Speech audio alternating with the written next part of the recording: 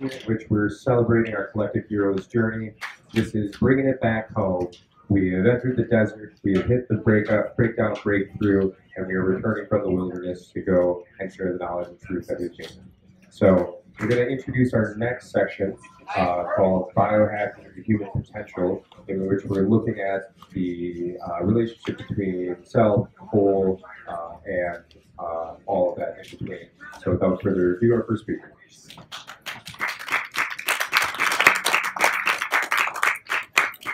Good morning, everyone. Good Uh, morning. my name is Liana Gillooly. It's really great to be here at Burning Man with everyone year after year. This is my seventh time in the desert, and uh, I'm just really amazed that it's getting better. I really want to thank Nick. That was some really powerful and potent stuff. And uh, I, uh, I have my friend Iko over here just gave me the sticker that has my favorite quote that I'd like to open with that feels very appropriate. Most of you have probably heard this, and it says, You never change things by fighting the existing reality. To change something, build a new model that makes the existing model obsolete. And that's Buckminster Fuller. Um, yeah, so I'm actually here today to speak with you about a very sacred and special and holy psychedelic plant called Mother Marijuana. Is anyone in here familiar with marijuana plants? Perhaps some fans? Great, yeah, yeah. Does anyone here work in the cannabis industry today? Sean, that's it? All right, all right, fair enough. You too? Okay, cool. Yeah, so um, I'm going to start out by just sharing a little bit about my work in Default World and, uh, and how that kind of, how I bring Burning Man and the principles of Burning Man into that work every day and, uh, and the opportunity that I see available right now. So I work in the cannabis industry. Um, I actually work for the largest venture, ca- uh, venture capital firm. We run the largest angel investor network in cannabis. So our mission is to connect high net worth investors that are looking for an opportunity in cannabis with cannabis related companies who are looking for capital to, to fund their businesses with. And so um, I'd like to start by just sharing a little bit about the origins, origins of my group because I think it's really important. So our group was founded by two uh, two veterans of the war on drugs, Steve DeAngelo and Troy Dayton, who are lifetime activists fighting for cannabis legalization. And they, back in 2010, saw that in order to actually move the needle and actually really change the laws, one of the most efficient ways to do that is to utilize business as a driver for social change. So if we want to get something done in the world, it just so happens that this is how our politics work, right? We had nine ballot initiatives on we had nine initiatives on the ballot last year during the election that would have made some form of cannabis legalization available in nine additional states. So of those nine states, we won eight of them, and we lost Arizona because we just got outspent. So it turns out that the way that our society and system, and political system is set up right now, is that we have to actually utilize resources and lots of them to change laws. And so there was this uh, there was this vision and opportunity to say, okay, great. If we can empower ourselves and if we can create responsible industry, and we can do this right, we might have the opportunity to really land this. We might have the opportunity to participate in writing of the laws and constructing the industry that we want to see happen. And one of the, the biggest opportunities that I see right now, and I think it's extraordinary that it's coming to us from a sacred psychedelic plant, and uh, is that we are we are now empowered. We have a newfound economic and political power that we've never had before as a culture and as a society. And so the question is, what do we want to do with that power? And I've been amazed already at seeing uh, the many different ways that this is this is unfolding. And so the question that I like to ask people who are joining the industry and people who are coming in and coming in from all backgrounds and all parts of life is how do we create a new kind of industry? What does that look like? And so for me, it looks like environmental sustainability, it, which cannabis has a huge problem with right now. Okay, we have a huge pesticide problem. Cannabis is not sustainably grown. Um, there's a lot of issues in that. It's also uh, women leadership. We have our industry right now has 23% more female CEOs than the average of other industries, which is very impressive. So it's uh, it's giving back to the cause. So one of the things that I do, we host these big investor meetings, right? We gather people with real money into the room, and we say to them, "Great, if you want to participate in the economic opportunity, you must be involved in participating in changing laws. Because right now, as people are making money and doing well with cannabis, there are people behind bars. And that's what got me into this. I got arrested for cannabis when I was 18 years old and spent a night in jail in New Jersey uh, for half a half a gram. And I just was so completely floored that that, that, that was even a thing. It's a plant that has evolved with humanity, that is an ancient plant. We have an endocannabinoid system that is uniquely there to receive the cannabis medicine.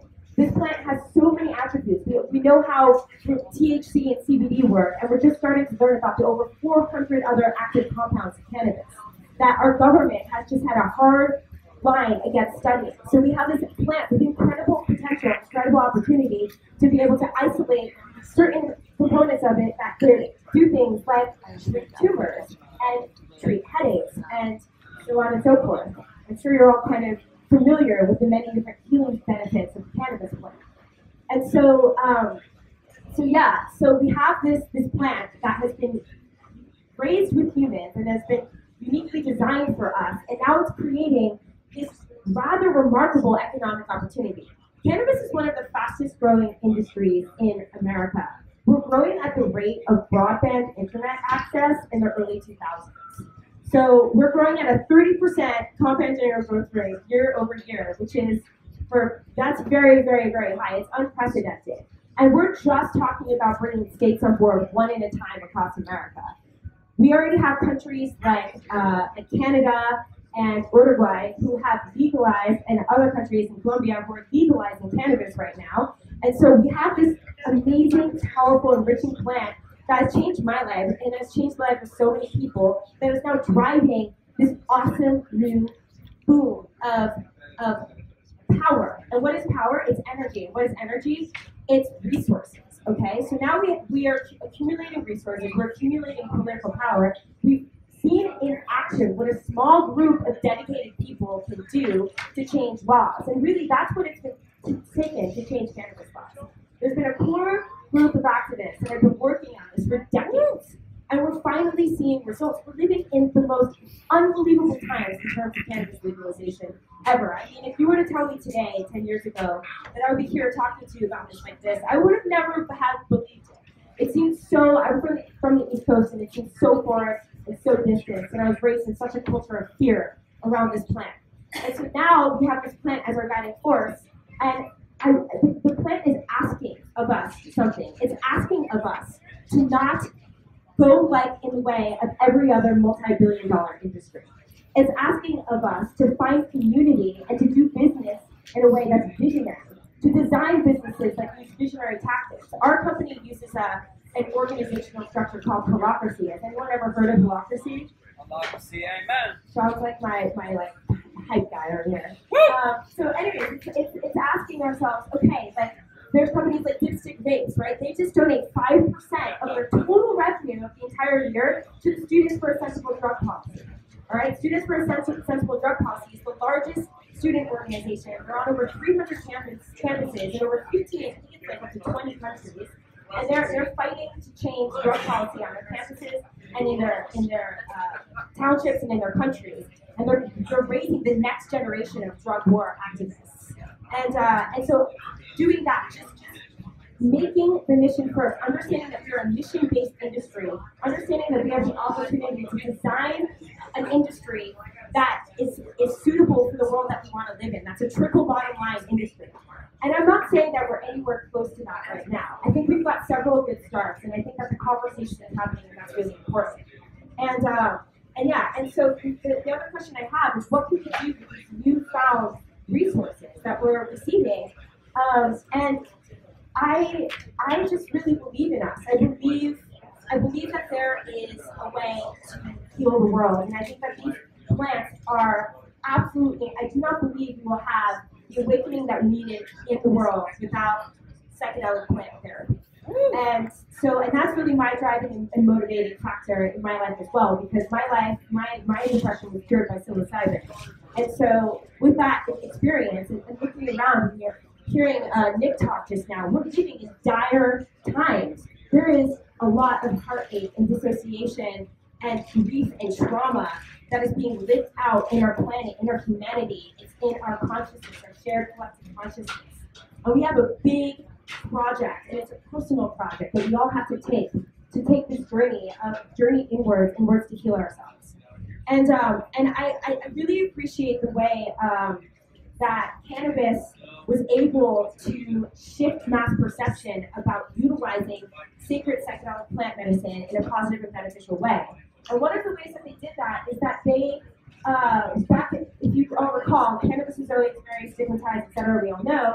But as soon child who was healed or, or was treated for incurable epilepsy with CBD, and as soon as the major media outlets started picking that up and sharing that around, people started having light switches go off in, in their heads. People started seeing something different in this plant that they'd just been taught to blanket hate.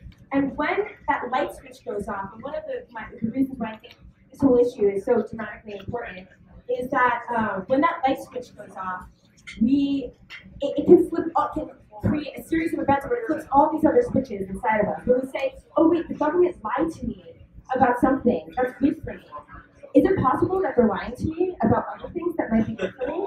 So I see I see this plant as the gateway medicine that my parents always warned me about, and um, and yeah, and I see that it's uh, it has so many gifts to give us, and it's our responsibility to hold that well and take care of the opportunity. I have several friends I know from the drug legalization movement that I have five friends that are running for some form of public office. Right? I, I, that's what it's about. It's becoming empowered, understanding that now we have power. It's no longer a Republican or Democratic issue. We have a bipartisan caucus in Congress right now that is working together to try to change laws. So uh, that buzzer means that my time is up. I hope that, uh, Thank you so much, and uh, we'll be hanging out after uh, for questions. So, so we've got we've got our series of presenters, and then we do a large format question and answer that should really stimulating conversation with the other turn. So I invite everyone to stay and give a warm welcome for our next presenters, Dr. Bruce Gray.